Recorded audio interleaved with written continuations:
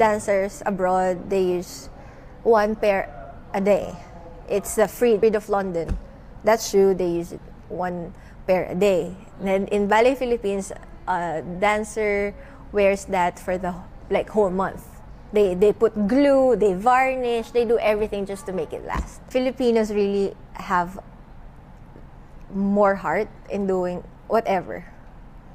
So, um, since it's very difficult for us, everything about ballet,